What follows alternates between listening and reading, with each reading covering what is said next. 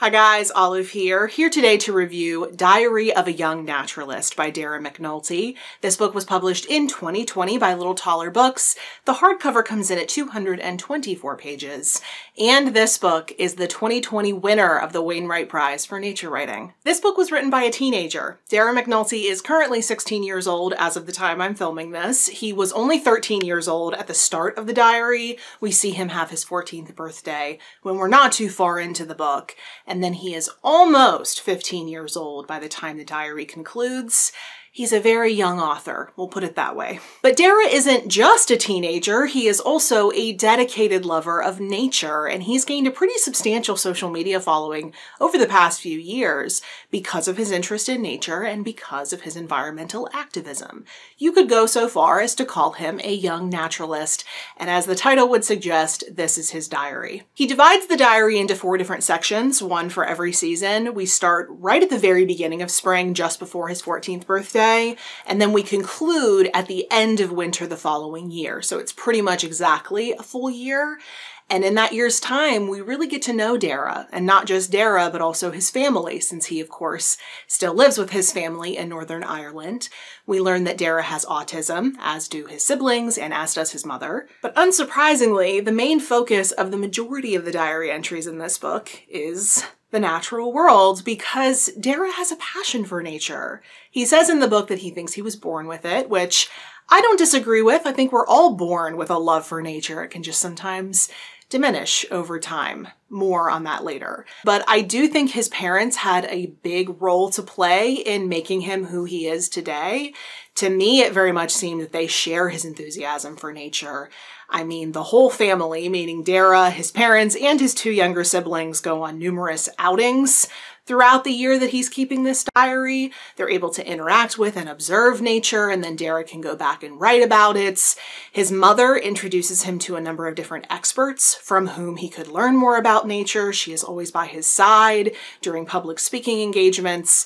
I think his parents had a big part to play in all of this, and I do think he knows that. But even though he shared a lot of the experiences that happen within this book with his family, they made the memories together, this book is very much a solo venture. This is all about what he was thinking and feeling in those moments, how he sees the world, what the natural world teaches him. And I cannot wait one more moment to say this. I've restrained myself up to this point. The writing is breathtaking. I kept having to pinch myself. A 14 year old wrote this? A 14 year old wrote this. It will never stop being incredible to me because his descriptions of nature are just beyond. He describes things so eloquently and so evocatively. You feel like you're standing next to him seeing everything that he's seeing.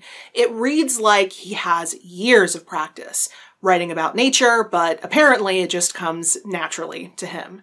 Pardon the pun. He says toward the end of the book that writing is actually what helps him process what he's seen, felt, and experienced out in nature. Like he'll come home from an outing and just pour everything onto the page. As he says, when people ask me why I experience nature so intensely, the truth is that I only know I've experienced it when I'm writing it all down later. The intensity gushes out and I feel everything again. I relive moments by scratching them out on paper or typing them up. I don't need to think about it much. All the details are right there in my mind and it surprises me every time. But while a lot of the material in this book is in fact focused on the joy that Dara feels when he's out in nature, it's not all sunshine. There are some negative emotions in here as well, as Dara could be expected to feel and record in a diary that encompasses an entire year there are definitely some leftover feelings of fear and anger because of the bullying that he's experienced, because he's different, not just because he has autism, but also because he doesn't like normal teenager things as much as other teenagers. He has an unapologetic love for nature. And kids are not kind to anyone who's even slightly different. But beyond those specific feelings, there is a lot of just kind of general teen angst going on because Dara is a teenager, and that's just kind of what teenagers do. But sometimes, in various entries throughout the book, Dara is feeling down because he's feeling frustrated. And what he's feeling frustrated with is just how selfish people can be. He sits back and observes the world in a state of disbelief at just how much we as people have allowed ourselves to mentally check out from nature, to willingly ignore the fact that we are inherently connected to the natural world and that the earth is worth more than just what we can suck out of it. I think a young person like Dara is precisely the right choice of person to bring this kind of an issue to our attention because he kind of has a foot in two different worlds, one of a child and one of an adult. He is still close enough to his childhood years to experience the wonder of what it's like to interact with nature, that the world hasn't hardened him to the point of completely forgetting that he's connected to nature. He's able to communicate that and remind us of what that feels like. But he also has one foot in the adult world. He is approaching adulthood, so he's able to see and understand the harsh realities of the world. To me, the whole book felt like an invitation back into the world of a child back into those feelings of wonder that I'm pretty sure most of us have experienced in our younger years. Of course, when I read this book, I couldn't help but remember myself as a little girl, swimming in a local creek to catch crayfish, going out picking huckleberries with my family and my grandparents' backwoods, and making friends with the cows on a farm that I very briefly lived on. Why do all of those types of magical moments fade so easily into grown up concerns? Are we really all that busy that we can't stop for a moment and look around and see how amazing the natural world is and what a real shame it would be if we destroyed it entirely? Dara's love for nature is infectious. And the quiet and beautiful observations that he makes throughout this book, I believe, have the ability to, even for a precious moment, bring us into that headspace. And I think it's going to be incredibly necessary for all of us to start with that headspace if we're going to make the kind of life changing choices that will ultimately benefit the environment. But also his anger at the state of the world and at the mess his generation is being handed is a real wake up call.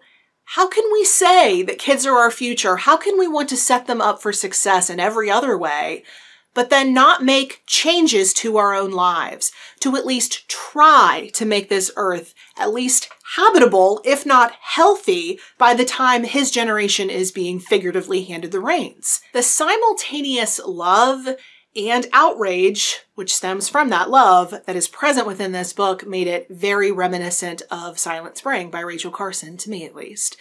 And I very much hope that this book and all of the other work that's being done by young activists out there ends up having the same impact as Silent Spring did back in 62. I really enjoyed this book overall. I mean, like I said before, his descriptions of nature are absolutely beautiful, and that probably would have been enough to win me over just by itself.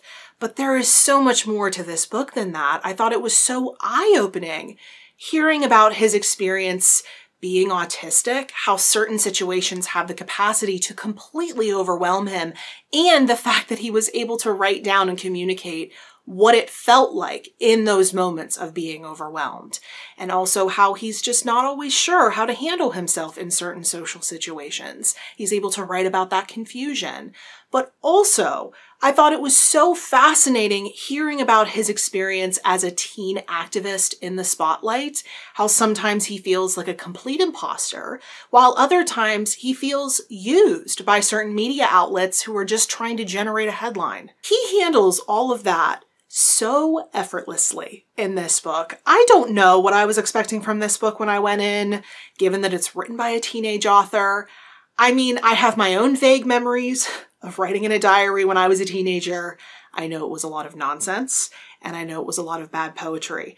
And I suspect if you were to read it today, which I pray no one ever does, it would read like an old itinerary. And this book was nothing like that. That statement kind of plays into one of my only pieces of constructive criticism about this book. It's the fact that I think he wrote this book with an audience already in mind. He hints in the introduction that certain people had asked him if he'd be interested in writing a book. So I think when he was going through and writing these diary entries, he knew that he was someday going to try to have them published. I don't necessarily think he was less honest in the entries because of that fact, but I don't know if diary is a right way to describe this book if it was always meant to be read. To me, anyway, diary means I don't want anyone to read this book, especially not people of my own generation. The only other issue I had with this book was extremely minor, but it was the fact that sometimes, not all the time, but sometimes, he would name drop a certain plant or animal species but he wouldn't describe what they looked like. He was just kind of assuming that you already knew. But as a reader from North America, I'm not familiar with wildlife native to Northern Ireland. So it would have been really nice if he would paint that picture consistently. I would have very much liked to have been able to visualize the species that he's talking about to be able to see them with the author, but instead they just read like names and then the onus was on me as the reader to go out and look them up if I wanted to be able to see them, which would have been the author's job to put that picture in my head. But again, if he did actually write this as a diary meant just for him, it would make sense why those things are absent.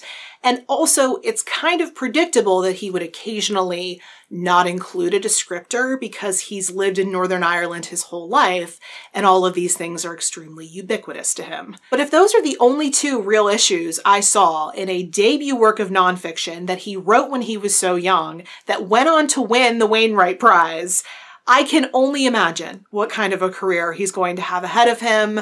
I think it definitely deserved to win the Wainwright Prize, and I'm really looking forward to reading his next book, which according to his Twitter is due to come out in 2022. So those were my thoughts on Diary of a Young Naturalist. If you have read this book, if you've heard of it, or if you're now interested in reading it after seeing this review video, I would love to hear from you in the comment section below. But if you would prefer to reach out to me somewhere other than YouTube, I am on a variety of different places on social media, and the links to all of my profiles will be in the description box below. Thank you so much for watching. I hope you're having a wonderful day, and I will see you in the next video.